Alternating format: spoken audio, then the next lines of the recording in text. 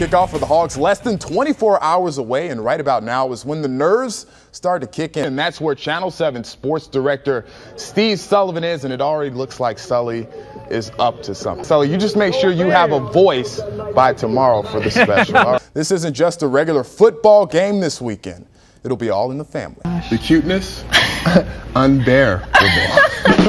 and a lot of repetition going on here in Jonesboro, and I'm not talking about going back to the GoDaddy.com Bowl three years in a row. The tax plan could raise about $7 billion a year. I will say it's raining outside. Hopefully, the Hogs can make it rain inside. Tip off about five minutes away. These little guys right here are so loud you can hear all of them from a mile away. Media day ended about three hours ago. So, Sully, I guess it's time for me to get the howl out of here.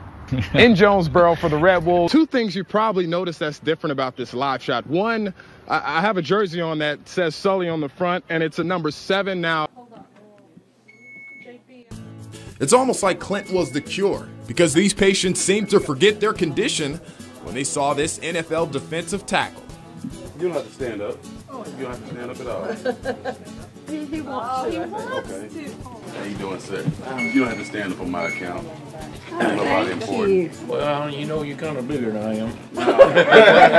Easy, sir. Thank you. Nice to meet You don't have to stand up. You have to I stand can. I just want to prove to him that I can. Uh, you can do it. There we go. Oh, no, I'm taking. I'm married now. And the roles were sort of reversed today. They made Clint smile more than they did themselves. Thank you so much. Thank you.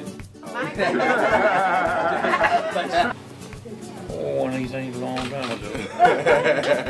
Uh, I went to the University of Memphis. Oh, okay.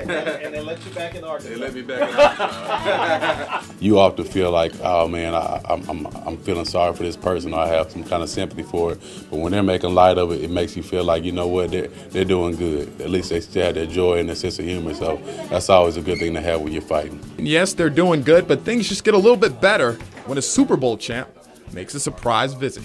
you know, take time out to come, you know, see us guys are, uh, you know, getting treated for myeloma. Yeah, that's that's pretty cool. Well, you worked on O'Manning, didn't you? Yeah. I'm a big football fan. I'm from Lafayette, Louisiana, so we pull for the Saints, but I, I'm a Tampa Bay fan too now.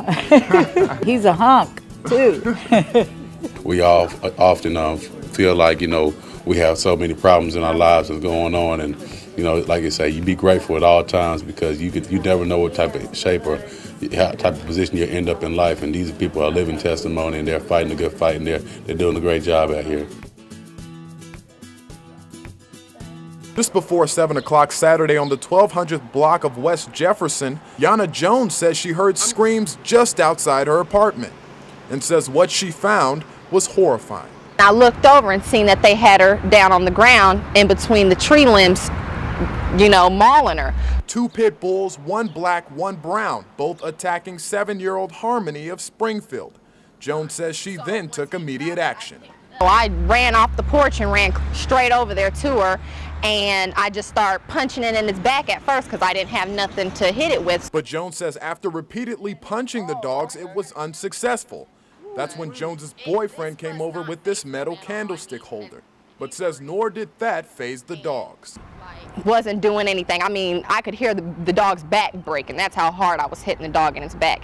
Bruises from the candlestick holder bouncing back every time she would hit the dogs. See all these tree stumps right over here. And as she walks me through her footsteps on that day, she says she can only picture one thing. Every time I close my eyes, all I can see is her just looking up at me, telling me, help, help. You know why they got her by her head. Now Harmony is recovering in St. John's Hospital, and even though Jones sacrificed her safety, she says she can't take credit for Harmony's survival. If it wasn't for her mom coming out when she did and jumping on top of her baby, ain't no telling what would have happened to that baby.